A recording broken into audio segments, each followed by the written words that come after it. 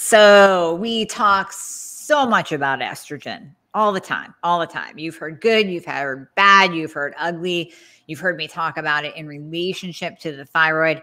I wanted to bring on an expert today who wrote a freaking amazing book. And I love the title Estrogen is a Bitch, because sometimes it can be. And Kate and I are going to get into this in depth today. And we're going to differentiate the good estrogen, the bad estrogen, why you don't want too much of it. But let me tell you about my guest first, and then we'll deep dive into this conversation. So, Kate Vazquez, just a, a, dear friend of mine. She's part of a, a big group that I'm in, all with like minded health professionals. I love her to death. She's a functional medicine physician assistant, founder of Radiant Health, and author of the book I just showed you. She loves empowering women to reclaim their health and vitality alongside her husband. She created an online course, The Estrogen Reset, and wrote a bestseller, Estrogen is a Bitch, to bring awareness about estrogen dominance. In her practice, Kate teaches women how to naturally balance their hormones as well as use their cycle as their superpower, reconnect them to themselves within and tap into their feminine energy at their highest level so they can create a life by design that they love living. So, Kate, thank you so much for coming on and deep diving into this crazy topic that so many people talk about estrogen. Yeah, absolutely. Thank you so much for having me today, Amie. I'm just so honored and blessed to be here and to have this conversation with you today. Thank you. Well, I want to start off by because I know we all have a story that led us into the area that we focus mm-hmm. on. So, what brought you into diving into estrogen, estrogen dominance, learning all about it, treating women? Tell us your story. Yeah, absolutely. It's so crazy because, like, I started off in Western medicine, as I'm sure you did, working at an urgent care. And um, I realized after a period of time, I wasn't really helping people. And I was seeing the same people over and over again for a lot of the same issues. And they would always tell me, Why am I getting sick all the time? Where these medications aren't helping? and I didn't have an answer for them to at the time. And I, it was actually kind of frustrating because I'm like, I got into medicine to help people, and a lot of people I could help them, give them the quick fix, and get them on their way. But there was a lot of people I couldn't help, and it was frustrating. But one day I came across Dr. Hyman who talked about functional medicine, how it was the mm-hmm. medicine of why. And I got so excited. It was like a light bulb moment. And I knew this is where I was meant to be. Um, mm-hmm. And so I dove into learning about functional medicine, got my certification in Institute for Functional Medicine. But I also had my own health issues at the time, which right. I didn't think were a big deal. Like I've always had like high pain tolerance, just push through, you know, and I didn't realize like looking back, I had chronic neck pain, but I was like, eh, whatever, it's tension, which it was. It was a lot of tension in my neck from right. stress. I had a lot of anxiety migraine since I was a child, developed acne in puberty, got to put on birth control pills, uh, the anxiety from like middle school all into my adult uh, life. And then I also started having GI issues, so constipation and bloating when I was in college. So looking back, it was just like a domino effect, one thing happening after the other. Mm-hmm. And unfortunately, Western medicine, I didn't really go to the doctors except for the anxiety and the migraines, but a lot of times it's like they just look at each thing happening separately. But with functional medicine, I learned like everything was happening all together. Uh, all the systems are affecting each other. So I really dove in and learned how to heal my body. But at the time, I was still on birth control pills. So it wasn't until about three years ago, I finally was able to come off, convince my husband to come off birth control because we weren't ready to have kids yet. Right. But we both understood and knew about the long term impacts that birth control was going to have on my body. So I was able to come off the birth control and I was surprised what happened. My hormones went crazy. And I was like, I didn't know what was going on in my body because I had done a lot of work healing my gut. So, no more constipation and bloating, really learn how to adapt to stress. So, I didn't have the anxiety that I once had. But all of a sudden, I was having irregular cycles, and I never mm-hmm. had this before breast tenderness, severe menstrual cramps, and I even gained a little bit of weight. And I was like, whoa, what is going on with my body? I and thought no I did the work. You expect it. No one told you. Like, right. hey, guess what? When you go off birth control, it's going to be a roller coaster. Yeah, exactly. And even though I like did the work too to heal my body, I read Jolene Brighten's book, like Beyond the Pill, to like prepare my body to come off, my hormones still went crazy. But mm-hmm. now looking back, I realized when I came off of birth control, even though I learned how to adapt to stress and I adopted different techniques to calm my body down, I was still in a toxic environment. I was working mm. at an urgent care while also uh, working the business, the practice, Radiant Health. I was kind of doing both at the same time. And it was a very toxic, negative environment. And I loved my coworkers, but I could see that with them, with the biz or the urgent care I was in, it was, it became very corporate. They weren't, they didn't feel like they were heard and it was impacting them and it was starting to impact me. Mm-hmm. And I was just so grateful that I found functional medicine and was working my way to get out of the urgent care. But I realized, wow, it was a very toxic environment. Plus, that probably had an effect on my cells and my hormones. So coming off the birth control, yeah, they went crazy. So I finally tested my hormones for the first time and I discovered I really needed to support estrogen metabolism because my body, my liver wasn't metabolizing estrogen properly. It was getting recirculated. And then my progesterone levels were so low from being suppressed for so, so long. Yep. Yeah. Yep. I'm glad and you mentioned that. Yep. Oh my gosh, it was it was an eye-opening experience for sure because yeah, no one told me about what's going to happen coming off. And I also knew that I mean, we still haven't had kids yet 3 years later and we're we're waiting for that time, but I knew that when it came time, I wanted to make sure my body was ready, my hormones were in the right place, the nutrients um, you know, I wasn't deficient in anything because I've seen a lot of family and coworkers, friends when they come off birth control, they would have a miscarriage like right after they they would come off, get mm-hmm. pregnant, and I was like, "Whoa, what is going on?" I didn't want that to happen to me. Right. So so yeah, so I figured out what was going on, discovered there was an imbalance. I needed to support estrogen, support my progesterone levels. Oh, and my testosterone too was like like nothing. so I had to really support all my hormones, get those hormones back up and also, too, yeah, I was losing a lot of hair because my testosterone levels were so low. My libido yep. was low. And all those were the after effects of birth control. So, learning that, discovering that in myself, I started seeing the same patterns and same things happening in the clients I was seeing. And so I dove into learning more about estrogen dominance and this imbalance and the different ways to really help support the hormones. And it was a game changer, not only for me, but for my clients as well. I, I, love so much of what you said right there. I, I don't even want to leave that topic yet. Number one, I love that you said about the low testosterone causing hair loss because I don't, I, I think that that's a an overlooked factor when we're talking about hormones. I'm happy that you said your progesterone tag. I'm not happy that your progesterone tag, but I'm happy you said it. I can't tell you, I'm sure you see it too. Yes. The amount of women, 20s, 30s, 40s, with progesterone levels that of a postmenopausal woman. It, oh, they're yeah. gone. There's right. no progesterone left at all. Mm-hmm. Coming back to the birth control, you know, sometimes people get sick of hearing it from me. Even my patients are like, yeah, yeah, yeah, blah, blah, blah, synthetic birth control. Can you please explain how detrimental synthetic birth control is to the body?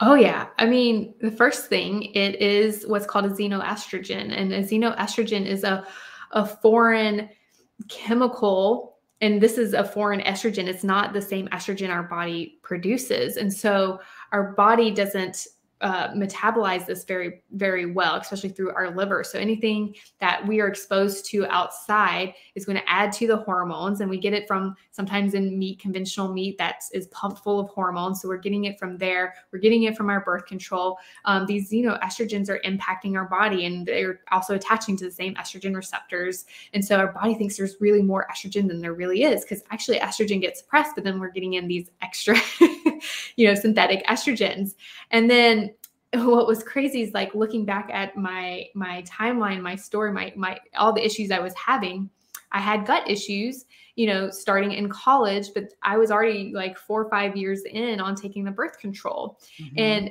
yes, it's not the only factor, but it is one of the contributing factors impacting gut health. And if you look at the studies and the research, it shows that birth control is linked to leaky gut. And leaky gut is when that intestinal barrier gets disrupted because it's supposed to be very, very tight. It's one cell thick, doesn't allow a lot of things to pass through. But things like birth control and Advil, which I took for, you know, I took a bunch of Advil for migraines. So that on top of that, and, and sprains from, you know, playing sports and injuries um, that stress, the amount of stress I was under because I no one taught me how to to help my body to calm down. Instead, you know, I was put on Prozac in PA school, and of course, PA school is like medical boot camp. That's what I call it. Um, yeah. Going 27 months straight through, constant test, um, like three a week. It was a stressful time of my life. And you know, just everything compounding on each other really impacted my gut health. But yeah, I think, and also, I mean, inflammatory foods too. So we can't forget that. There's so many different factors. But yes, birth control is one of those factors that doesn't get looked at and addressed that impacts the gut health. And plus, studies also show there's a link between the development of ulcerative colitis and Crohn's with birth control. So, women, if you are on birth control and all of a sudden you have ulcerative colitis and Crohn's, that might be one of the reasons why, in addition to everything else I mentioned. So mm-hmm. that's one of the long term uh, impacts of being on birth control. And not only that, but birth control also decreases our liver's ability to produce something called bilirubin. And bilirubin is needed to make something called bile. And when the liver produces bile, it gets stored in our gallbladder. And there's actually a link to a lot of women developing gallbladder issues uh, when they're on birth control. In fact, I had, I remember having a client come to me on birth control with gallbladder stones. And she asked her doctor, like, you know, could the birth control have caused this? No, no, no. I'm like, uh, right. Did she not yeah. look at the research and the studies? Because, yeah, it impacts the production of bile. And why is this so important? Well, because in our uh, when when estrogen gets metabolized, it gets metabolized in our liver first. So there's two phases: phase one and phase two. It goes from active to an inactive form once it goes through phase two, and then in phase two, after it goes into inactive form, it binds to bile. And when it binds to bile, it then goes to our intestines, which is phase three elimination of estrogen. Now, a lot of women tend to have issues in one, two, or all three phases, which is not good because we are supposed to make estrogen and use it, but then also get rid of it. Get rid of the it. problem yep. is, is like when those phases are impacted, we end up reusing estrogen over and over again and not eliminating it. So this is why it's important that our body should be producing bile so we can bind those inactive estrogens so we can get rid of it in our intestines. But birth control impacts that ability. So when I discovered this, I was like, oh my goodness. And then women that are on birth control that already have gallbladder or develop gallbladder disease. And it's funny because gallstones were not seen as gallbladder disease, but it's like, yes, anything that impacts the normal function of the gallbladder is right. dis-ease. so, and then they take your gallbladder out. And then they take your gallbladder, which we need. And a lot of women have issues, you know, digesting fats afterwards. Yep. So it's like, the, yes, it stores, but it still is important uh, for digestion of food. And that was the biggest um, factor. And also not only the estrogen impacting – the um, the gallbladder production, or excuse me, the bilirubin production, it the progestin, which is the synthetic progesterone, also slows down the motility, meaning mm-hmm. the ability for the gallbladder to contract when it's supposed to. so yep. that's what creates that sludge. When the gallbladder is not contracting, things slow down, and then it's uh, that bile forms with cholesterol and then forms with stones. So, so it's just so crazy and mind blowing. But unfortunately, you know we're not trained you and i both weren't trained you know the about the long-term effects of birth control it wasn't until i was pouring through the studies like what what were the long-term effects and what is it doing to our bodies and then another thing that i discovered too going back to like why did i have low testosterone is because it increases a protein called sex hormone binding globulin oh yeah yeah. yeah, yeah. And it was like special talk on that. Yeah, that's a that's a mean, mean hormone. It's just yeah. Mean. And I'm like, what is this thing? You know, this protein. Well, it protein, loves yeah, to yeah. yeah, it loves to bind up our sex hormones and it loves testosterone over all the other test uh, uh, sex hormones. Yep. And so when I like looked at my hormone. I tested my sex hormone binding globulin, and sure enough, it was high. And Dr. Jolene Brighten even talks about this in her book. Like some women, after being on birth control, because I was on it over 15 years, sometimes they have high levels and it doesn't come back down. Luckily, mine was able to come back down because when sex hormone binding is low, it actually releases that testosterone. And we have more testosterone available in the body. But when it binds all that testosterone, that's when women will experience the low libido and the hair loss. So those were the main things that I discovered and like the long term impacts that birth control had. And I was like mind blown when I discovered that. So, oh, yeah. And listen, we get it if, if women don't want to get pregnant. I don't want to have a child either. Like, never have, don't want to right now. So, I get it that you're using birth control as birth control, but there's so many other methods yeah. that can be used as opposed to putting synthetic hormones in your body. That I'm going to add one more to the birth control um, effects. It tanks your thyroid. We also know birth control tanks your thyroid function. Yeah. So now you have, again, it's that that whole triple, double, quadruple whammy: low thyroid function, no testosterone, estrogen dominance, and no progesterone. Right. You're going to be fat, bald, holding water, and moody, and you're probably not going to sleep. Like right. that's this that's the the gift that birth control gives to you, but you won't get pregnant. Let's right. think of another way, right? Let's just let's go down another path. Yeah. Yeah. Yeah, absolutely. And uh, I use a, the fertility awareness method, which you know, if you follow it to a T, it works. And I've been doing the last three years and still have not gotten pregnant. So there are definitely different ways, alternatives to not get pregnant. And it's it's so interesting to me. You know, if you think about, and actually, I got I didn't get on it to to avoid pregnancy. I initially got on it for birth or not for, uh, for acne. You know, so mm-hmm. a lot of mm-hmm. women may not necessarily be getting on it just to avoid pregnancy, but to control hormonal symptoms of hormonal imbalance when instead we need to look at the root of what's going on. Why is this happening in the first place? Mm-hmm. and which i realized like the acne was probably from eating the conventional meat full of antibiotics and hormones and milk and then you know all the stress and all the everything that was impacting my gut and then the estrogen dominance that i developed. So it was just like all these different things you know leading up. I never you know i don't think i had high testosterone. I never had signs of pcos but right um, but yeah, all these things, I'm like, oh wow, that's what's because once I healed my gut, balanced my hormones, my skin has never been the clearest. oh, gorgeous. it, you guys can't see her if you're listening on the podcast. She's beautiful and her skin is perfect. So and, and you know, birth control was just another band-aid. Again, like you said, instead of getting to the root cause of why you had the acne. And then if, if, if you are a PCOS patient, guarantee you were given birth control as a slap-on band-aid and it's just you have to get to the root cause because the body is just a beautiful thing it's just mm-hmm. it's so interconnected so kate can you tell us what what are the signs of estrogen dominance don't they kind of cross over a little bit with low estrogen or am i confusing that can you can you tell us what are the they signs can. people can look for yeah yeah absolutely they can because what happens well, actually, no, not with low estrogen, but when women go through menopause, because more yeah. signs of low estrogen is more like you know, they have vaginal dryness because we need estrogen to keep our skin plump. Mm-hmm. You know, mm-hmm. pain with intercourse, more uh, frequent UT, UTIs, uh, yeast infections.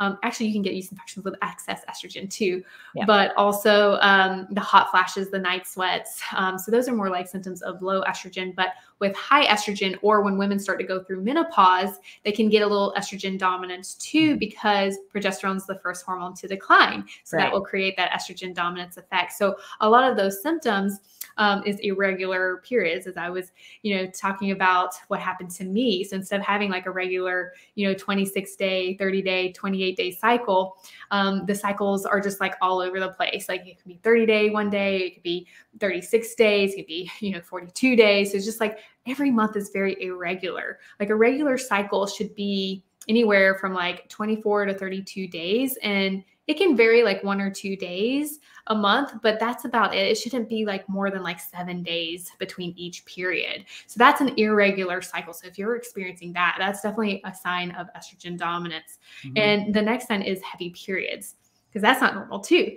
Because right. what happens is when there's a lot of estrogen in the system and there's not enough progesterone to balance that out, the estrogen will really thicken what's called the endometrial lining, which is inside the uterus.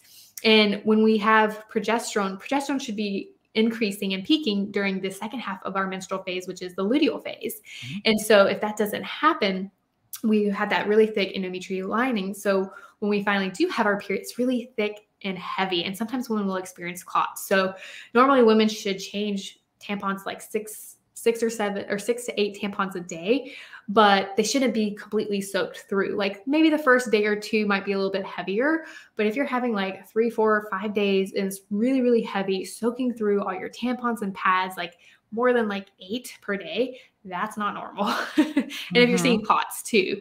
So that is definitely not normal sign of uh, estrogen dominance. The third sign is PMS symptoms. And that's because if there's a lot of estrogen in the system, it actually causes an increase in prostaglandins. Now, we normally have a release of prostaglandins, which are these chemicals. It creates a little inflammation in the body, but it also helps our uterus to contract so we can actually have our period. We want to release that endometrial lining so it can we can shed that and have our period. But when there's a lot of estrogen in our system, it increases more of those prostaglandins, which is why women will have those really severe, painful menstrual cramps. And then, not only that, if you also have low estrogen, that's going to cause the mood swings and the headaches. So, yeah, all of that, all uh, the fun stuff, all, all the fun stuff, and that happens a week before your period. So, so those are the the PMS symptoms. And the fourth one is breast tenderness, which a lot of people will lump into PMS symptoms, but I also like to separate out because extra extra estrogen will cause that breast tissue to swell, fills up with fluid. Sometimes estrogen can also cause cysts to form. So a lot of women with like fibrocystic breast disease, it's usually because of the estrogen. They're not metabolizing it properly. There's a lot in their system. And that's what happened to me. I just was having those those tender breasts. Like it hurt to put a bra on. I'm like, I couldn't even like sleep on my side. I was just like, oh, I didn't want want to be touched. Nothing. Yep. It's just like yep. so, so tender.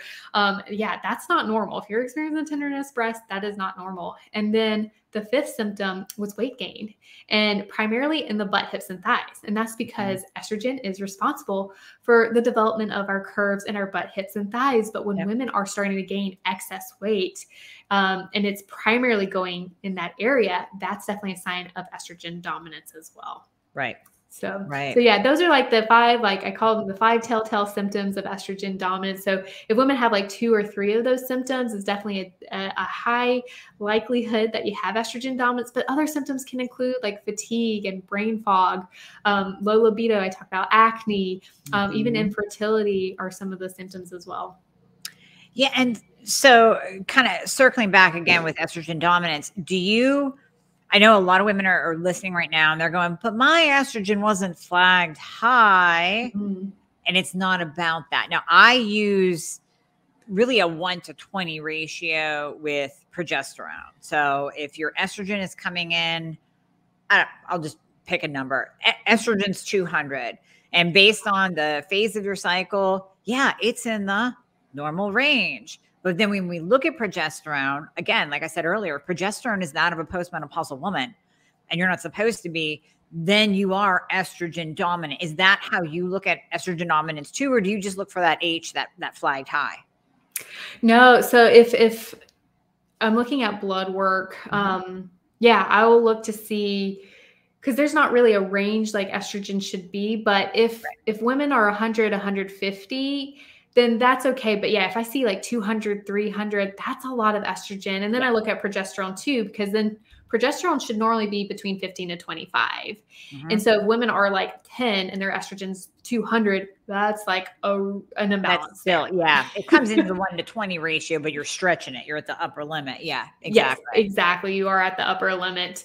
Um, yeah. But also, we'll look at urine testing too. And they actually have different um, different lab ranges as well as far as the urine testing. Right. But I also too just to make sure like it's not towards the upper end of the range, the estrogen and the progesterone's not towards the lower end of the range because that too will also if I'm seeing that and actually you know there are three different types of patterns that I'll typically see in women that can create that estrogen dominance. So the patterns that I'm, I'm looking at is making sure that you know uh, progesterone is normal and optimal, and then estrogen is not too low and not too high. But what are the, the three different patterns I'll typically see is normal progesterone and really, really high estrogen, or I'll mm-hmm. see low progesterone and normal estrogen. Or the third one is normal progesterone and really high estrogen. So those are the three different things that I look at. It's like, you know, making sure that those two are are balanced. Yeah and looking at that pattern and then mm-hmm. pairing it up to the person's symptoms. So yes. if they're checking all of your boxes for symptoms of estrogen dominance, chances are they have estrogen dominance. I mean, it crosses over with some other things too, but when you're looking at the labs and pairing it up with the symptoms, I think that's the perfect way oh, to yeah. figure it all out. Absolutely. So on here we talk a ton obviously about thyroid and how high estrogen is one of the causes of elevated reverse T3 and it impairs the thyroid. But I want them to hear it from you. What do you find in your practice with estrogen and its re- estrogen dominance and its relationship to the thyroid? Yeah, absolutely. And it's so crazy because it's like a lot of I've had clients come to me with thyroid issues and no one really ever looks at their hormones. And I'm like, why not? Crazy. it drives me batshit. It really does. Like, how is your doctor just testing your thyroid and not your hormones? But yeah, go ahead. Yeah, and that's because when there's a lot of excess estrogen in the body, it's not being metabolized out. It actually increases a protein that binds up thyroid hormones. It's called thyroid binding globulin or TBG. And so when that happens, it binds up a lot of the T3 or T4. I mean, it mostly binds up T4, but that's a problem too, because if it binds up T4, it's not converting to T3, but it can also bind up a little T3. So that is what can create that hypothyroidism in a mm-hmm. lot of women. So that is like the biggest factor too, but also it excess estrogen increases inflammation in the body. And so when we have increased inflammation, we're getting more reverse T3, which is the inactive form of, of T3. And then it's also increasing the antibodies, the thyroid peroxidase or TPO antibodies. And then it's going to lead into um, into autoimmune disorders like Hashimoto's. So so that's what I've commonly seen in women with uh, estrogen dominance and thyroid issues. Is like, okay, if I see the high TPO or high reverse T T3, let's look at estrogen and see where it's at because, you know, it's like it's multifactorial. It's not just looking at one thing or two things. It's looking at everything. As I mentioned before, like functional medicine looking at all the systems. And, you know, and that's one of the things like women will come to me, they're like, okay, I eliminated gluten and dairy. You know, I did this, I did that, but I still am having the symptoms. Okay, well, let's look at your hormones and let's balance that. And that usually is what really, really helps um, improve their symptoms. Because if we can lower that um, inflammation in the body, lower the estrogen, the antibodies are going to come down. We're going to release more of those those thyroid hormones, and they're going to be happier overall. yes, yes, and and it, with my community, you know, we focus so much on thyroid. I think it's very easy yeah. for even some of my patients to go, "Well, I need more thyroid hormone because I don't feel any good." Well, okay, let's look at your hormones. And sometimes testosterone will be in the tank, estrogen right. will be high, progesterone will be in the tank. And I go, well, your thyroid looks great. But all this over here, the hormone panel, right. no, not so much. So we fix these. Then your optimized thyroid will give you a bang for its buck. It will give you um, an applause for being optimized because you won't have the messed up hormones over here creating the same symptoms exactly. and masking and everybody thinks well it must be my thyroid well no hormones too let's let's remember the hormones doctors right. and patients let's remember the hormones yeah, exactly. Especially like the fatigue, the brain fog, the weight gain. A lot of people think thyroid, but it's the hormones too. And the hair loss. Yeah, can't forget the hair loss. the hair loss, which plagues so many women. Yeah. So then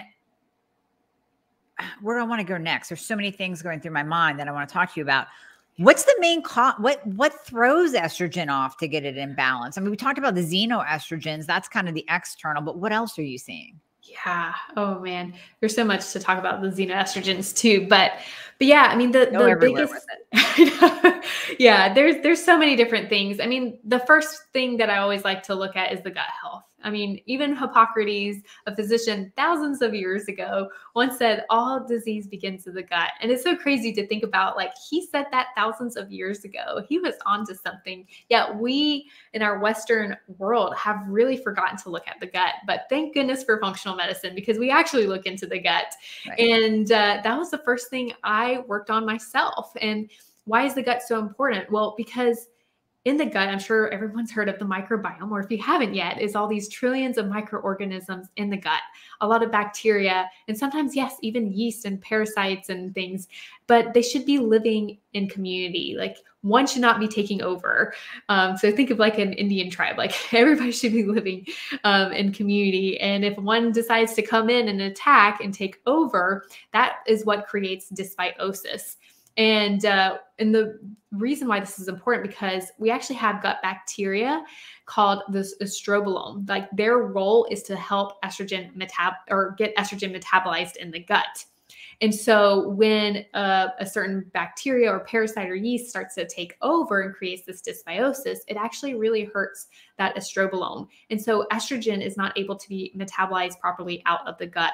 And we also have this enzyme called beta glucuronidase, which it's supposed to low. It's supposed to like hang out and just kind of like go undercover and, and not really do anything. But when we get this dysbiosis, now all of a sudden it gets increased in our gut. And this is a problem because when estrogen, remember, goes through the liver, goes from in, uh, active to its inactive form, binds to bile, goes to the gut. Now all of a sudden, this beta glucuronidase says, oh no, wait a second, let me like make you active again and then it gets recirculated back in the body. Because now the body's like oh you're not ready to get eliminated. Let's reuse you and you know get you back in. So that's a problem and and it's crazy looking at when I did the gut testing, I had that dysbiosis. I had a lot of bad bacteria. Actually, it was growing into my small intestines. Okay. So something called small intestinal bacterial yeah. overgrowth, SIBO. So mm-hmm. I had SIBO because I had the bloating, the constipation, which are the like those common symptoms associated with SIBO. So I had to really work on like removing inflammatory foods, healing my gut lining. Because remember, birth control really impacts the, the gut lining, causes that leaky gut, right. and put in the good bacteria back in. So, oh, and also support digestion, digestion of my food because I wasn't digesting food properly. Mm-hmm. So there was just so many different things that I had to do to really optimize my gut health. And I had those elevated beta glucuronidase levels. And so the way to get those levels back down is to get that good bacteria back in and get rid of those bad guys, bad gut bite, gut, mm-hmm. bad gut bugs. so five times fast. Yeah. Know, right. um, so so yeah, so gut health is so so important because it really plays a huge role in estrogen estrogen metabolism. It's phase three. So so that's the first thing i look at and there's so many things that can impact that which i've already like covered you know the medications the stress the toxins even heavy metals which i actually ended up i was eating a lot of tuna at the time. And they say you know once a week is okay but yeah once a week it does add up. Yeah. plus there's there's so many uh, we get exposed to mercury in our environment and there's so many different sources but yeah i had high levels of mercury so i had to like detox my body to get rid of that. Um, so gut health is really, really important. Mm-hmm. And then stress, I mentioned that because remember, I was in a very toxic environment at the yep. urgent care I was working on, uh, working at. Also the mindset. So like, you know, when it comes to stress, there's different types of stress. There's physical stress, which is like if we get an injury um, or we go through surgery, you know, something physical that happens to the body. There's also chemical stress when we're exposed to toxins and chemicals, radiation, and then there's mental emotional stress. And. I've had a lot of people tell me like, "Oh, I'm not stressed because everything's good in their personal life and their their work yeah. life." But I'm like, okay, but what's going on in here? Right. the yes. mental stress because yes, we may feel calm, but we talk negatively to ourselves. Like mm-hmm. I'm guilty of that. We have 70,000 thoughts per day, and 80% of those thoughts are negative. And when I heard that statistic, I was like, oh my gosh. But then I realized I was like, oh wow, I do say a lot of bad things about, you know, to myself. Yeah. And, yep. you know, because I hold myself to high standards. So if something doesn't happen and, you know, I, I tend to beat myself up, but that's not mm-hmm. good. That's not no. good because our cells are listening. They're responding to our thoughts. And there's a lot of books out there that talk about this. So, yep. um, so yeah, stress was a big thing. And, you know, being in a toxic, negative environment, listening to negativity of the coworkers around me was impacting my body at a cellular level. And also, you know, I learned that I needed to also help calm my body down because my body was constantly in a sympathetic state because we have two different types of, uh, of systems. We have the parasympathetic and the sympathetic nervous system. And our bodies are not meant to be in a sympathetic, which is that fight or flight state, like 24 7. But unfortunately, in our modern day society, that's what happens. We get into this sympathetic state, drives up cortisol, drives up glucose, increases inflammation in our body. And then, of course, it lowers our progesterone and then it creates this estrogen dominance. So, uh, and then impacts the thyroid. So, yeah. so yeah, I, uh, that was like the biggest thing is just like learning to help my body to calm down, doing yoga, meditation, deep breathing. So I started doing these things. And then also a lot of mindset work because I'm also mm. type A, perfectionist. Yeah. yeah, I get that. Yeah. and I really had to learn how to like let things go, stop taking things personally, and realizing like life is happening for me. It's not happening to me. Right. And that was such a huge shift for me. And so, yeah, I challenge everyone like, you know, if you're in a toxic environment with like relationships and you know uh, definitely like get out of that because that's impacting yeah. your body looking at your mindset um, tuning into the thoughts about yourself because that's also impacting your body at a cellular level um, but also we want to get our bodies out of that chronic sympathetic bait and that's another thing like uh, things that are we're constantly you know met with like so many demands and you know have to get this done and do this and constantly go go go go go throughout the day mm-hmm. and another thing that was happening too like i was go go go from the time i went up, woke up to the time i went to bed and I wasn't calming my body down either. So, what was a game changer for me was a bedtime routine, just like winding down an hour before bed. And yeah. that just like really helped to calm my body, calm inflammation as well. So, yeah, so stress is a huge, huge factor. And then the toxins. So, I want to come back into the toxins mm-hmm. because mm-hmm. when I learned about functional medicine, and discovering all the toxins that were present, I was like, just mind blown. In fact, I looked at a study the Environmental Working Group had done, and it said women use 12 products on average per day and are exposed to 168 chemicals. And I was like, what? That's before they leave the house. that's like, before that's... they leave the house. Yeah, exactly. Before you get in contact with the exhaust and the pollution and who knows right. what else outside. so, so yeah, I was just like, oh my goodness, when I saw this statistic, I ran to my bathroom just like looking at all the products I was using and counting all the ingredients. I'm like, oh my goodness, I'm using mo- more than 100 ingredients, putting them on my body. And the products like Neutrogena and Maybelline and Lysol and Clorox, like all these products that are heavily marketed, they're destroying our hormones. They're called endocrine disruptors because of those xenoestrogens. And uh, even the makeup, yeah, the makeup I was using, the shampoo, like, and I realized it's like, oh my gosh, I have a toxic home and I needed mm-hmm. to get mm-hmm. rid of everything. But then it was very overwhelming because I'm like, I'm going to have to get rid of everything, but yeah. it's way too expensive, you know, to get rid of everything in the home. So I started replacing one thing at a time. Exactly. Um, and over time, we finally have better products in our home, uh, but not just the products we're using on our body, but you know, all in the household cleaning products, but the stuff in our kitchen. You know, like I was using plastic spoons to cook my food, and the nonstick cookware, and the plastic warming my food in plastic containers, and drinking out yep. water bottles, and you know, all these things, as you know, contain the BPA, the bisphenol mm-hmm. A, so it impacts not only thyroid, but it yep. also contributes to the estrogen dominance as well. So yeah, um, the toxins in the environment is is huge. Um, also, I mean, we talked about birth control. That's another mm-hmm. um, cause of, of estrogen dominance. Also, histamines too. And this was something too that I ended up discovering um, on my journey is that a lot of my clients were getting better, but there was a handful that just weren't getting better, even though I was working on the gut and balancing their hormones and helping them to adapt to stress. Mm-hmm. They just still weren't getting better. But then I realized a lot of them were very sensitive. They were sensitive to a lot of things in their environment, the products that they were using, um, allergies. And I was like, oh, or having rashes. And I'm like, hmm, I learned about histamine. So I started looking into it and testing them. Mm-hmm. A lot mm-hmm. of them, the histamine would come back really high. Now, there's a few that didn't come back high. So, yes, it's a helpful test, but doesn't necessarily rule it out.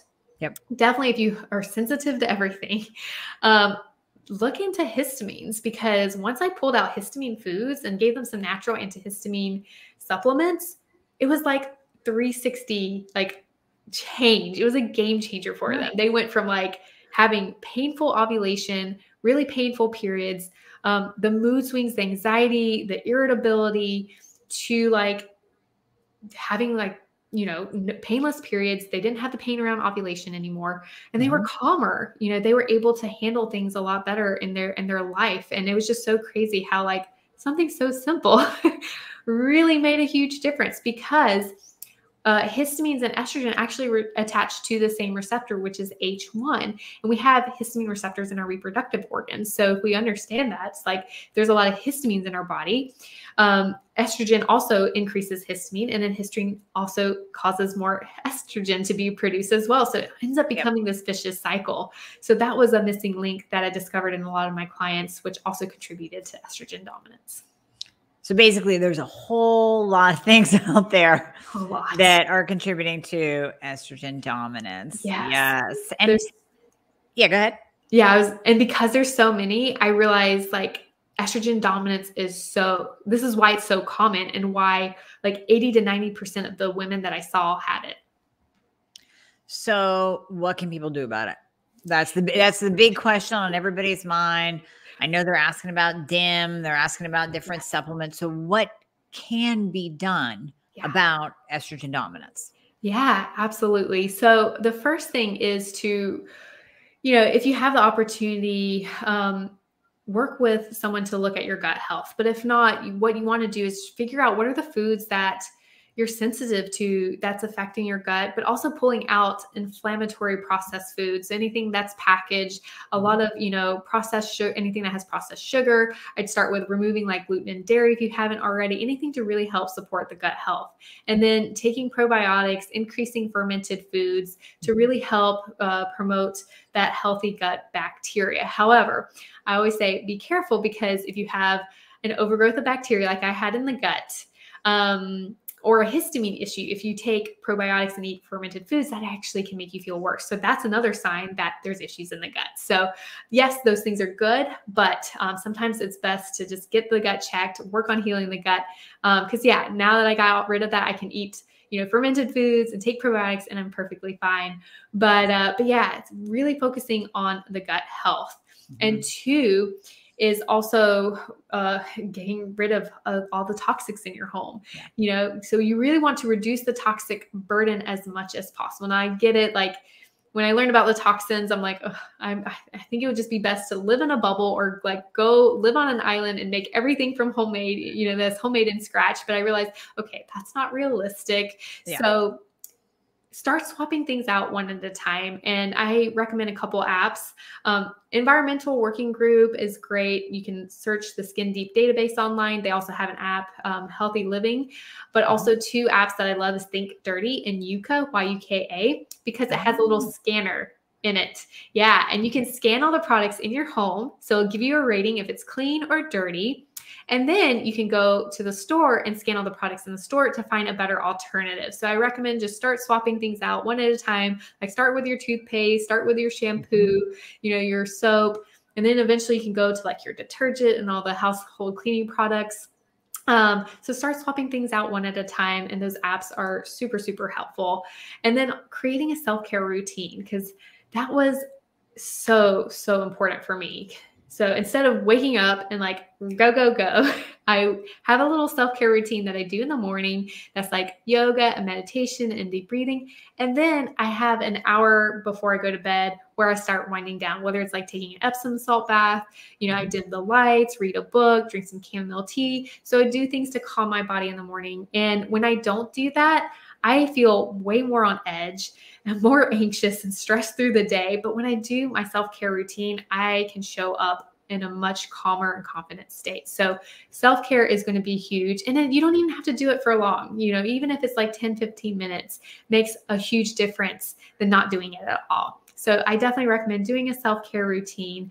Also, um, really focusing on the nutrients too. So we need specific nutrients uh, for in certain foods, like cruciferous vegetables, for example, are really good to really help support estrogen metabolism and helps mm-hmm. um, phase one and phase two of estrogen metabolism. Uh, mm-hmm. also, leafy greens contain a lot of B vitamins to help phase two of estrogen metabolism. Um, red, orange foods, so fruits and vegetables like peppers and strawberries, are really good to help with um, with progesterone production because it contains vitamin C. Also, green green like broccoli, leafy greens also contain a lot of vitamin C as well. So you want to load up on foods high in vitamin C. B vitamins, B6 is also important for progesterone production. I also love seed cycling. That is like one of my favorite ways because food is medicine and it really helps to get my cycles regular again after I came off of birth control. And the seeds, they're so simple, but are just packed with healthy fats and so many vitamins and minerals to support estrogen metabolism and production in uh, the first half of the menstrual phase. And then uh, progesterone production and continue with estrogen metabolism in the second half of the phase. And so the first uh, first two weeks, I always recommend grinding up flax and pumpkin seeds, and then the second uh, two weeks. So basically, every 14 weeks, you're alternating seeds. So the second uh, 14 weeks, you're or 14 days, excuse me, 14 days, you're going to grind up sesame and sunflower seeds. So you're going to do that every two weeks, and that's really, really helpful to support your hormones. And, and then daily, every single day, use them oh, that's on yeah. whatever. Yeah, yeah, yeah, Absolutely. Yeah, because even if, if you're not cycling, if you're going into menopause, you know, you may not be able to follow your, your menstrual cycle, but even if you consume those seeds, it's going to really help support your hormones as well. Um, but yeah, as far as the supplements, so yes, there's a lot of, if you Google, there's a lot of research and a lot of blogs saying take DIM, take DIM for estrogen dominance, but you have to be careful because yes, DIM yeah. definitely helped me, but mm-hmm. that's because I looked at my my estrogen metabolism, looking yeah. at phase one, phase two, because not everyone needs DIM. In fact, I've done tests and I look at some women have optimal phase one support. So they actually don't need DIM or mm-hmm. they need support with phase one and phase two. So if you're not supporting phase two, what happens is those hormones get stuck in phase two and actually makes you feel worse. Okay. And I've had a lot of women come to me. They're like, yeah, I took DIM and I had headaches and really bad cramps. I'm like, oh, well, let's look at what's going on. Yeah. And that's because the other pathways two and three weren't supported. So yes, DIM is great. It's helpful but don't take it without testing first and working with a practitioner who can provide you those recommendations because yeah you can actually feel a lot worse and really affect your estrogen metabolism if you're not careful but b vitamins are also really important for phase two broccoli sprouts also help mm-hmm. with phase two you can eat them but you can also take them in supplement form as well Mm-hmm. Um, as for as progesterone, you know, talked about vitamin C. So sometimes taking in extra vitamin C can really help progesterone production, B6. Um, so those are the common supplements that I, I usually recommend. But again, you know, see a practitioner, get testing to see if you really need these and which ones you need support with. Beautiful. Beautiful. Well, thank you, Kate. I want you to tell everyone. I mean, this has been a fantastic talk. We have a ton of people listening already. Awesome. And it, it just, I, I know it's going to land home with so many women, so yeah. many of my women listeners. So, can you tell everyone, and we'll have this in the show notes, but can you tell everyone where they can find you? And I know you are giving our audience amazing gift. It's a free PDF version of your book. Now, I have to say, it is on Audible. Now, I actually read a book. I actually read a book. That's big for me because I have no time. But I was on a plane multiple times, Kate. So that's how I got your book in. But now it's on Audible too. So there's no excuse. If you don't have time, you can get on Audible. So can you tell people where they can find you? Yeah, absolutely. So everyone can find me on yourradianthealth.com. That's my website. Also, I'm on Instagram primarily. It's Kate Vazquez underscore PA. So you can definitely find me there if you have any questions. You know, definitely send me a DM. Uh, you can also find me on Facebook and LinkedIn, but like I said, I'm definitely more more on Instagram. And uh, as far as the book, yeah, it is on Amazon. I love, I personally love the physical book because I like to highlight and underline. Yeah. And that's yeah. what a lot of the women do. They they make their notes, they highlight, they fold the pages. Yeah, do whatever because my goal was to like really provide it in a format that was easy to understand that's digestible and give mm-hmm. you simple steps to take away um, at the end of the book and there's so many resources too um, in the book yeah. but also online as well so you definitely want to take advantage of that and yeah it's in many forms it's paperback hardcover uh, kindle and audio version because um, a lot of women are on the go like yourself yeah. and i knew like the audio version was going to be helpful for those women as well but yeah uh, also, I created a quiz. It's the estrogen dominance quiz. So if you're not sure if you have estrogen dominance or not, you definitely want to take the quiz, and um, and then we can go from there and just explore, and you can get more information from the book as well. Oh my goodness, that's amazing. Well, Kate, thank you so much for your time today. This has been so helpful for everyone. I really appreciate it. And yeah, I wish you luck in your in your book ventures. I'm sure there's going to be another one coming out oh, eventually. Oh, yeah. No pressure but down the road, another. yeah, absolutely. Yeah. Yeah. Thank you so much for having me today. And yeah, there is definitely going to be another book. I have a feeling it's going to be on mindset, but, but we'll see. We'll see oh, what happens yes. comes up. like All right, Kate, thank you so much once again. Yeah. Thank you so much.